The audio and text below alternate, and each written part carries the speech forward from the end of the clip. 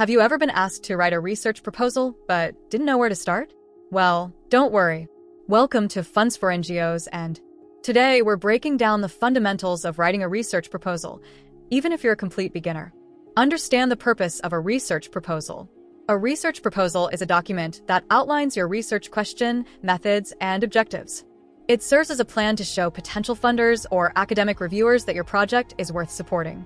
Before you dive into writing, understand your audience. Whether it's a grant agency or an academic institution, make sure you know what they're looking for. Start with a clear, concise title that reflects the essence of your research. Your abstract, typically around 200 to 300 words, should summarize your entire proposal, objectives, methodology, and expected outcomes. Tip Think of the abstract as a mini elevator pitch for your project. Now, you need to show why your research matters. What's the problem you're addressing?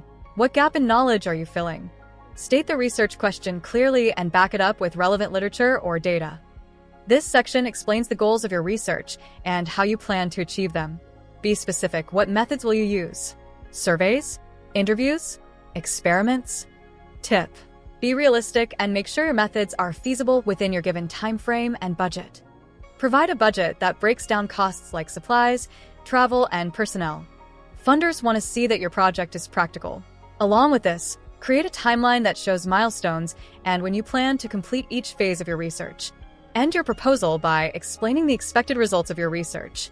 How will this project contribute to your field? What impact will it have on solving the identified problem? Your conclusion should show that your project isn't just important, it's essential. Before submitting, review your proposal thoroughly. Review for clarity, coherence, and grammar to help reviewers easily see your project's value. Like, share, and subscribe to our channel for more tips on grants, fundraising, and proposal writing.